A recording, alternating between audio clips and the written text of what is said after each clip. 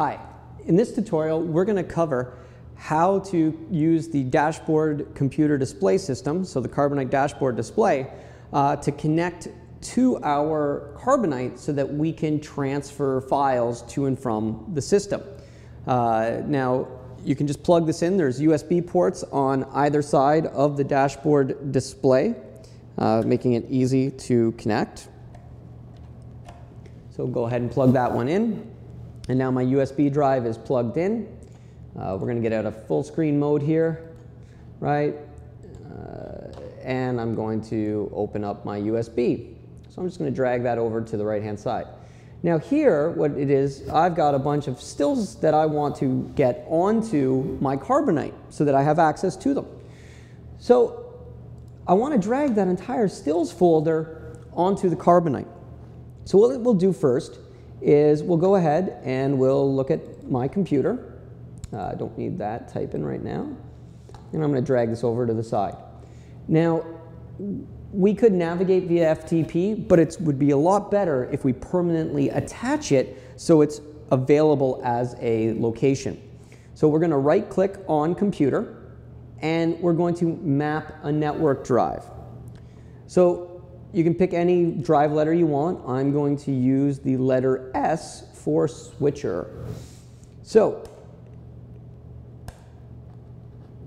connect to a network location and specify it. So it's FTP colon forward slash forward slash and then the IP address.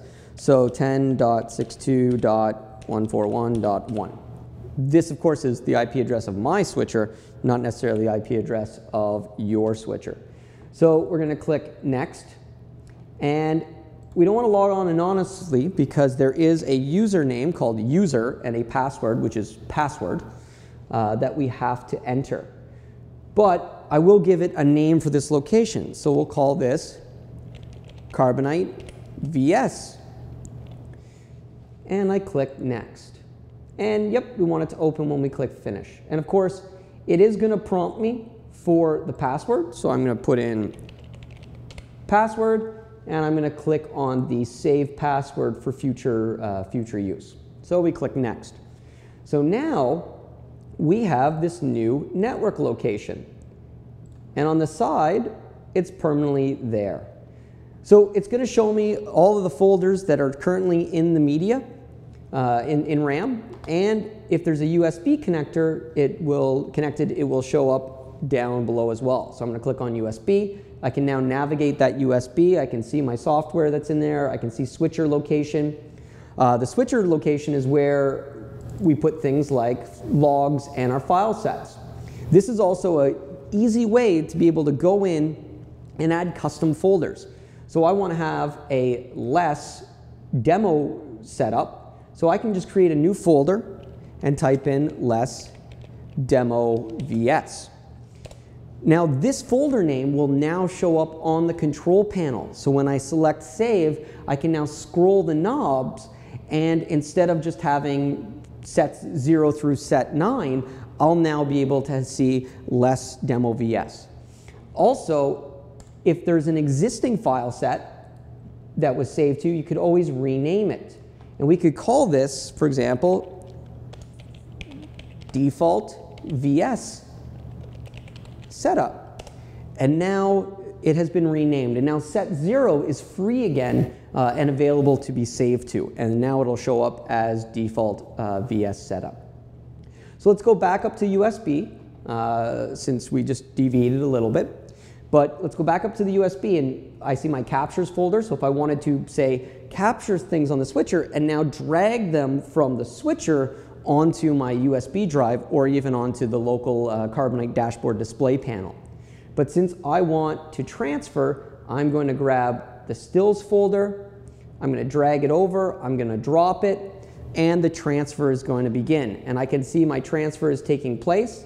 And it's loading all of that information, uh, all those stills, animations um, that are in the stills folder. Well, there won't be animations. I have a separate folder for animations. So these are just stills. Uh, Targa, JPEG, PNG, Um, bitmap, these formats are all supported. Um, Targa and PNG will even support with alpha, and you can set whether it's a shaped or unshaped, or additive or non-additive key. Uh, but that's part of the, the media manager. So now, while it's transferring these items, if we just go into our dashboard, right, let's go back to full screen, let's go to our media manager. Now what you see is there is a folder called stills under the USB. I click on it, and those stills are all starting to be loaded in. Now, if I take one of these stills and we put it into our channel, so we'll put it into channel 3 by queuing it, it's now going to load that into RAM cache and place it. Once the transfer is complete, the system is also going to go through and it's going to create thumbnails for all these images. Because it's still in the midst of copying right now, we are going to just have to slowly wait before we're able to get our, our thumbnails. So it's about 60 seconds more to go. Um, in that time, we might as well talk about what else you can get via this FTP location. So one of the neat features about Carbonite is that it supports Live EDL. Live EDL allows me to create as run of my switcher, creating a, a standard EDL file that I can then easily access. So you can save the EDLs to the USB drive, and then they would be under USB under EDL files. Or you can simply get them directly out of RAM, out of flash, and they would be stored on there as well. So as you can see, very easy to use. Media channels. You can also directly drag and drop files onto the media channel, um, and this will take that still and load it directly into the still store output. Uh, this is useful if you want to set up your own little drag and drop direct to channels or build your own little application. Um, also, mnemonic upload and download folders. Those are for routers. When I'm using a Carbonite Extreme, I can load the mnemonic uh, tables into the folders, and, and that's where the switcher is going to source the mnemonics from uh, when you make router switches.